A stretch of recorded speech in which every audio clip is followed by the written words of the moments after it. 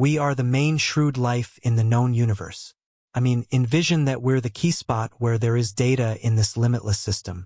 Cosmologists, generally throughout the world, are in wonderment of this always advancing divulgence.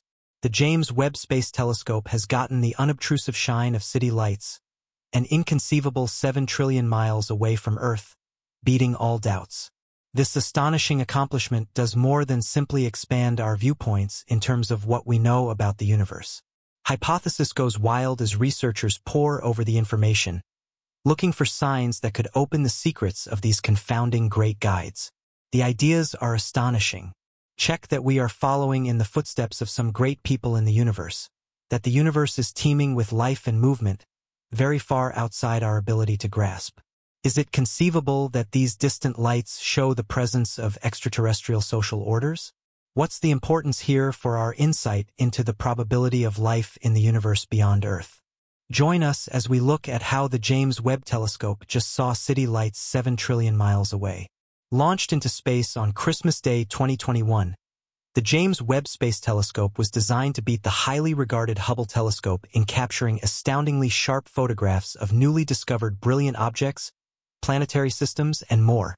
A clear goal of the JWST is to focus on the progression of the earliest universes by examining the far-off, nearby inhabitants of the universe. This is pragmatic because the journey time of light throughout our universe is billions of years. When the JWST gathers light, it captures these objects precisely as they were billions of years ago. Space experts measure distances in light years, which is the best distance light can travel in a year.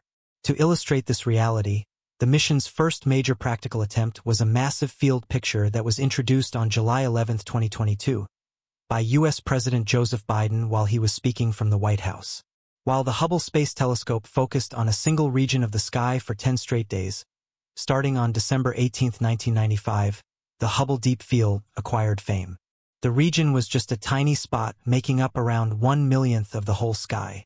Most of the 3,000 currently invisible things found by Hubble were gigantic systems found billions of light-years away. With its focus on the SMACS 0723 galaxy cluster, the JWST's deep field covers a similarly small sky region. The galaxy structure, SMACS 0723, is 4.6 billion light-years away, and the more distant galaxies behind it are magnified by the intense gravitational field. The foundation of the admirable systems is distorted into massive turns where the gravitational field is most intense.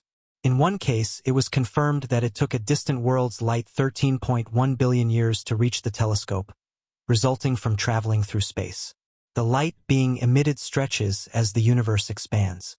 The primary goal of the JWST has been to capture visible light from their stars into the infrared.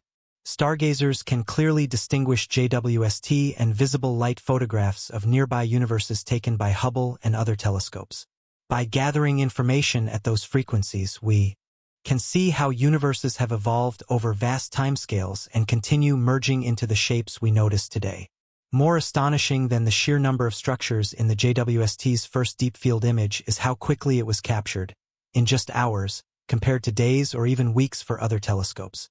Wherever it looks, it can't resist the temptation to track down galaxies. Galaxy clusters aren't the only objects acting as magnifying focal points. Experts utilize the JWST to capture a picture of several galaxies, designated VV1191, so they could study how the light from one of the pairs changed as it passed through the other. The results of this study will reveal the properties of the intervening galaxy's development. Moreover, it seems that the JWST may have actually made an extraordinary discovery. Light from a very distant system. The declaration of the possible presence of auroras on an exoplanet came from the official JWST website. The absence of a host star and the frigid temperature make it difficult to pinpoint where the energy in the upper atmosphere is coming from. However, the fact that the object exhibiting aurora is indeed emitting methane is crucial. Just like auroras on Earth are caused when energetic particles, traveling from the sun into space, are caught by our planet's magnetic field. The charged particles then make their way through Earth's atmosphere near the poles, where they collide with gas particles, creating a brilliant light display called the aurora borealis. Jupiter and Saturn have similar auroral anomalies due to the solar wind. However, the mysterious W1935 has no star to orbit, so its auroras are a huge mystery. Everyone's suspicion continues to focus on Proxima Centauri, TRAPPIST-1, approximately 4.4 light-years from Earth, within the Milky Way galaxy. Experts have identified the presence of water on the exoplanet, and the chance of life on the planet can't be ruled out. Are we finally going to see proof of life beyond Earth? Just last month, the JWST observed another incredibly massive black hole. This enormous black hole was observed in various wavelengths and is consuming everything around it. This discovery is 40 million times as broad as the Sun. But what does this mean for us? The JWST has found that this supermassive black hole has been present since the beginning of the universe.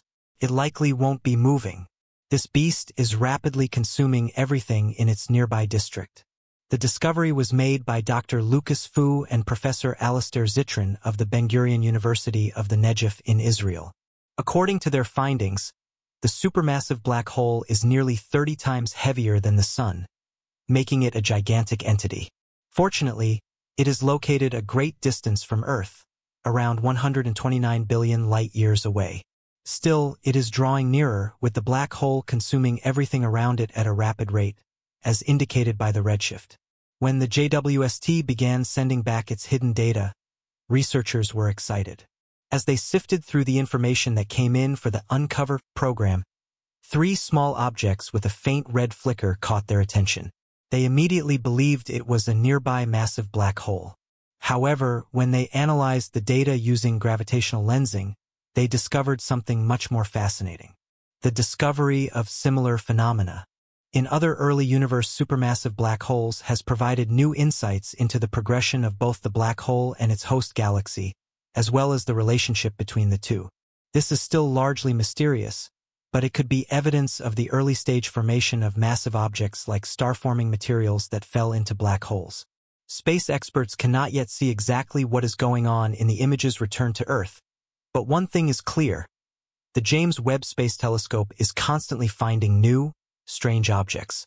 Every day, we have the pleasure of exploring space and being enchanted by the dazzling lights of planets and stars that float across the universe. Light years away. Not only does the JWST allow us to see far beyond what our eyes can comprehend, but it has also revealed a mysterious object in one image. This image, which focused on something entirely different, was taken by the European Space Agency, observing two young stars forming about 1.47 light-years from Earth. However, there is a tiny orange mark at the bottom of the image that appears to resemble a question mark. Clearly, this small image is far from insignificant. In fact, it's enormous.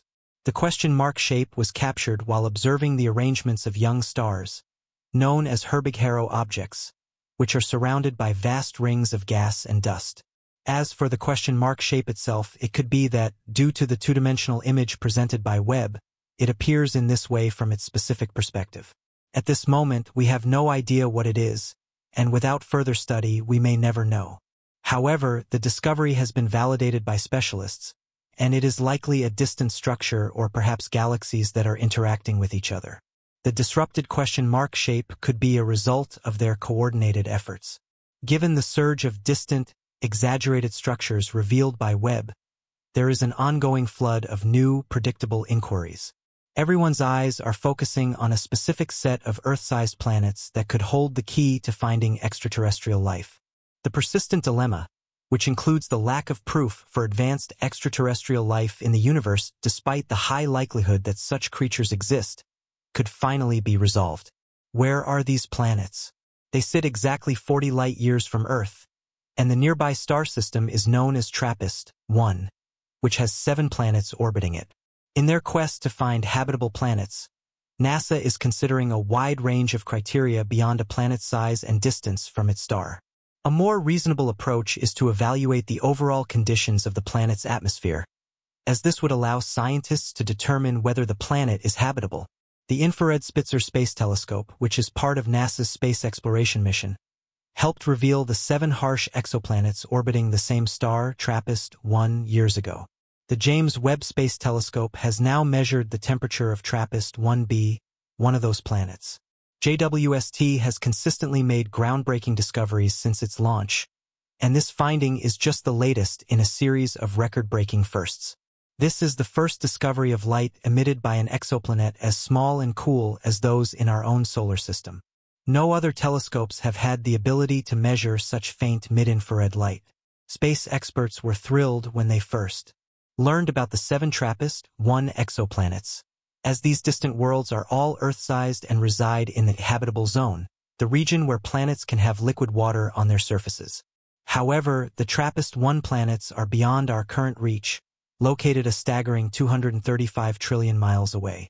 They orbit a star much smaller and redder than our Sun, known as an M-dwarf star.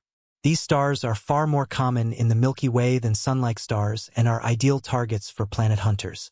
However, M-dwarfs are also more prone to flaring and sending high-energy radiation, which could be damaging to emerging extraterrestrial life or a planet's atmosphere.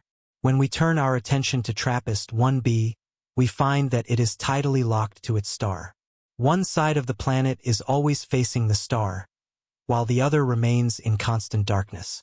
This difference in temperature creates extreme conditions, with the daytime side reaching temperatures hot enough to melt iron. The dark side remains much cooler, but still hot enough to prevent the formation of methane, a key atmospheric gas. Although this may diminish the planet's potential for harboring life, the JWST's ability to measure these extreme conditions offers a unique view of distant exoplanets and their atmospheres.